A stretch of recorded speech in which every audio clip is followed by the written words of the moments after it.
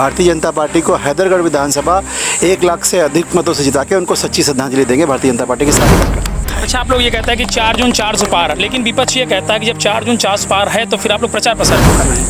उनके उनको टिकट मिला तो जो दूसरा गठबंधन का है वो सब मेरे साथ आएँगे। उनको टिकट मिला तो उनके कार्यकर्ता मेरे साथ आएँगे। भारतीय जनता पार्टी की जीत सुनिश्चित। सबसे पहले यहाँ के जो प्रभारी हैं उन्हीं जी से ही बात कर लेते हैं। सबसे कैसे आज पहला चुनाव है? बीजेपी का अगर बात की जाए तो अभिना सुंदरलाल दीक्षित जी के अनुपस्थिति में लड़ा जा रहा कैसे याद कर रहे हैं? उनके आशीर्वाद से भारतीय जनता पार्टी इस क्षेत्र में बहुत ऊंचाइयों पर है। और सभी कार्यकर्ता उनको याद करके और- भारतीय जनता पार्टी को हैदरगढ़ विधानसभा एक लाख से अधिक मतों से जिता के उनको सच्ची श्रद्धांजलि देंगे भारतीय जनता पार्टी के सारे कार्यकर्ता। चलिए मैम आपको ज़िम्मेदारी दी गई है? शीर्ष नेतृत्व को मैं धन्यवाद देती हूँ और यहाँ हैदरगढ़ में दादाजी के बताए हुए रास्ते पर। यहाँ के सभी देवतुल्य कार्यकर्ता सब लोग उनके मार्गदर्शन पर चलकर और यहाँ से भारी बहुमत से मुझे जिताकर माननीय यशस्वी प्रधानमंत्री जी के हाथों को मज़बूत करेंगे। दादा बतौर मुख्य अतिथि आप यहाँ पर आए और सबसे पहले आपने समाधि स्थल पर पुष्पांजलि अर्पित की।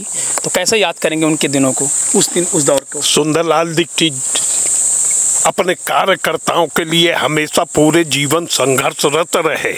उन्हीं के पद चिन्हों पर चलते हुए, हमारे विधायक जी, हमारी भावी सांसद, कार्यकर्ताओं के लिए आम जनमानस की सेवा में लगे रहेंगे और जनहित के कार्यों को करते रहेंगे। माननीय मोदी जी के हाथों को मज़बूत करेंगे। गठबंधन को कैसे आप यहाँ पर देख रहे हैं? गठबंधन और बीजेपी है। उत्तर प्रदेश की 80 की 80 लोकसभा सीटें भारतीय जनता पार्टी जीत रही है। वो गठबंधन, ठगबंधन, वो सब बनते, बिगड़ते, उनके, उनको टिकट मिला तो जो दूसरा गठबंधन का है, वो सब मेरे साथ आएँगे। उनको टिकट मिला तो उनके कार्यकर्ता मेरे साथ आएँगे। भारतीय जनता पार्टी की जीत सुनिश्चित है। अच्छा आप लोग ये कहता है कि चार जून चार सौ पार लेकिन विपक्ष ये कहता है कि जब चार जून चार सौ पार है तो फिर आप लोग प्रचार प्रसार क्यों कर रहे हैं? लोकतंत्र में एक छोटा सा किस्सा सुनाता हूँ। एक एक गाँव में मैं गया, एक विवाह फ़ंक्शन में।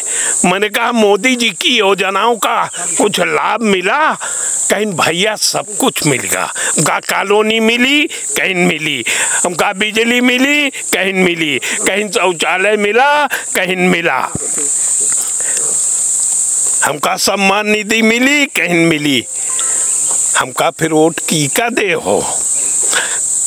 कहीं आप सब जने वोट मांगे आओ तो आप एक देबे अच्छा को मांगे तो आओ धन्यवाद। तो ये हमारे साथ आपको बता दूँ कि यहाँ पर सुंदरलाल दीक्षित जी की समाधि स्थल पर जो है क्या कहते हैं समाधि स्थल पर पुष्पांजलि अर्पित करने के बाद जो है यहाँ पर अ, हमारे साथ अ, अ, क्या बता दे रहा हूँ कि यहाँ के जो मुख्य बतौर मुख्य अतिथि कार्यक्रम में सम्मिलित होने के लिए सुरेश तिवारी जी से इनसे खास बातचीत की। अगर बात की तो यहाँ पर कई नेता भी मौजूद थे, जो साथ में आए थे और श्रद्धांजलि जो है, क्या कहते हैं पुष्पांजलि अर्पित की है।